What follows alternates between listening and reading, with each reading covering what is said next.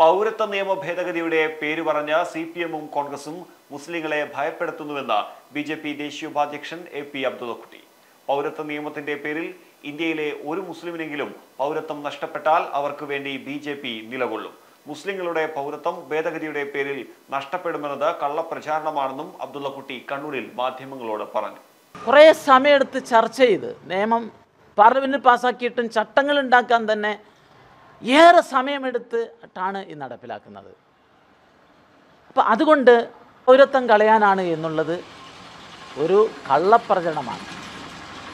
ഇതിൽ നിന്ന് ഉത്തരവാദിത്തപ്പെട്ട രാഷ്ട്രീയ നേതാക്കൾ പിന്മാറണമെന്നാണ് ഞങ്ങൾക്ക് അഭ്യർത്ഥിക്കാനുള്ളത്.